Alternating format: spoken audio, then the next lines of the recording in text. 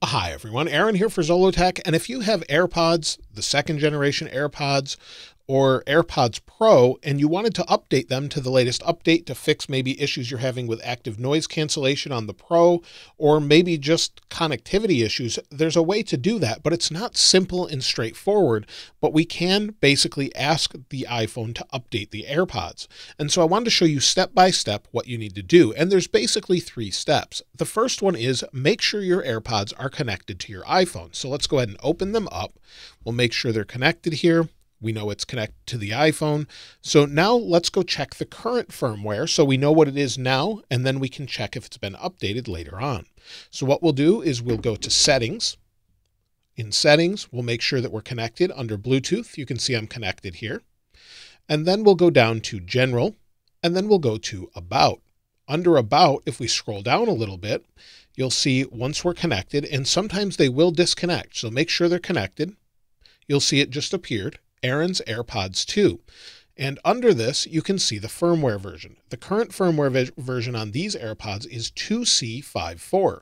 Now, if we want to update them to the current version that's out right now to 2D15, we'll need to do a couple steps. So now that we've got it connected, what we want to do is take a lightning cable, plug it into the bottom of the AirPods so that they're charging and leave them plugged in.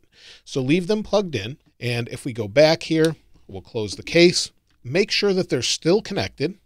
You'll see they're still connected under my Bluetooth list. And then let's make sure they're connected again. There we go. And then what we'll do is we'll just leave them next to the phone. And unfortunately, there's nothing physically that you can do. You just have to leave them. They'll update and we'll come back and make sure they're updated in a moment. And that's it. There is no way to force the update. So we just basically have to leave it, let it do its process, finish updating it, and we'll come and check later. Now, I normally do this process later at night. Maybe by the time I go to bed, I'll plug the iPhone in, plug my AirPods in, set them next to each other, make sure they're connected, and then by the morning they're updated. But let's see how long this takes. Now, after about 15 minutes or so of the AirPods being plugged in next to the iPhone, it's already updated. And we can check this by making sure we're connected to the iPhone. So we're connected. We'll go to settings. Again, you'll see under Bluetooth, I'm connected.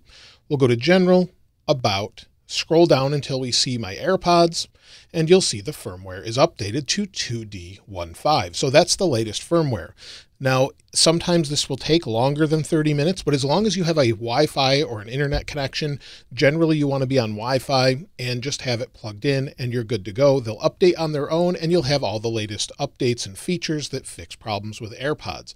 So if you were having connectivity issues with your AirPods or anything like that, you should be good to go. So that's how you update the AirPods, AirPods Pro, or any other AirPods currently. And if you have any other questions or comments, let me know in the comments below. If you'd like to get your hands this wallpaper, of course, I'll link it in the description as I always do. And if you haven't subscribed already, please subscribe. And if you enjoyed the video, please give it a like. As always, thanks for watching. This is Aaron. I'll see you next time.